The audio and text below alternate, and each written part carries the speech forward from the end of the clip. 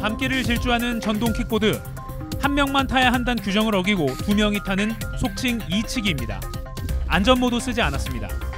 한참을 달리는 이들을 직접 따라가 봤습니다. JTBC 취재진인데요.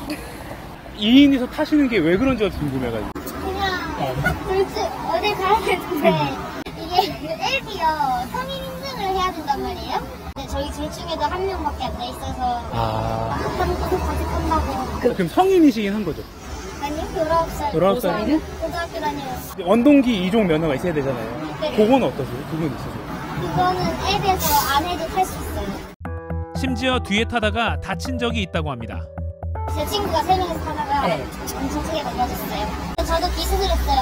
이거 타다가 타다가 네. 넘어져서? 뛰어져서. 그때도 친구랑 타다가? 그때는 제가 뒤에 탔어요. 운전은 제가 안 했어요. 이 학생, 제가 기자가 아니라 경찰이었다면 동승자를 태웠으니 범칙금 4만 원, 무면허니까 범칙금 10만 원, 안전모 미착용으로 또 범칙금 2만 원입니다. 특히 2인 탑승 전동 킥보드는 보행자에게도 흉기가 될 수 있습니다. 지난달에는 일산 호수공원에서 여고생 두 명이 전동 킥보드 한 대를 같이 타고 가다가 60대 부부를 덮쳐 아내가 숨지고 남편이 다쳤습니다. 어, 저기 입구에 있잖아요. 교포도 못 들어가게. 그래도 니는 떠들어라. 나는 모른다고 그냥 씩 가요. 어, 저희 여기 단속반이 있거든요.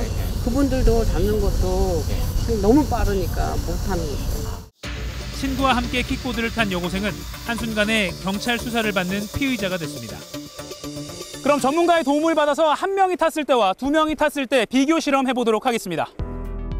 우선 학생들 말대로 면허 입력을 건너뛰어도 타는데 아무 문제가 없었습니다. 운전면허가 등록되지 않았어요. 라고 했는데 제가 만약에 면허가 없다고 가정하고 다음에 등록하기를 해도 그냥 이렇게 넘어갑니다.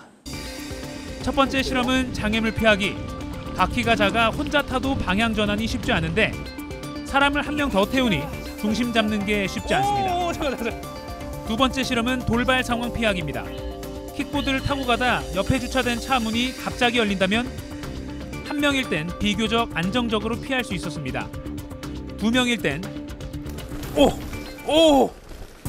방향 전환 자체가 쉽지 않고 힘을 주면 과하게 방향이 꺾여 2차 사고 가능성도 컸습니다.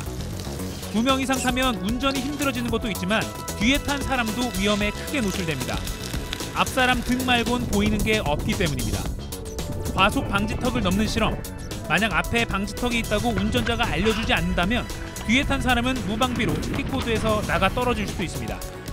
그래서 저와 인터뷰한 여고생도 뒤 친구에게 신호를 줘야 한다고 말했습니다. 제가 준비 쿵 약간 이렇게 하면 친구가 뒤에서 약간 꽉 잡거나 약간 이렇게 하면 돼요. 이렇게 위험한 2인 탑승 서울 대치동 학원가에서도 하루에 여러 건 어렵지 않게 찾아볼 수 있습니다. 혼자 탑승하기에 예, 적합하게 제작된 1인용 전동 킥보드를 두 명이 탑승을 하게 되면 어, 제어가 어렵습니다. 돌발 상황이 닥쳤을 때는 피할 수가 없는 상황이 되게 됩니다. 음주운전을 우리는 잠재적 살인 행위라고 부르는데 주저하지 않습니다. 이제는 이런 전동 킥보드를 두 명 이상 탑승하는 것도 그렇게 부를 수 있을 것 같습니다.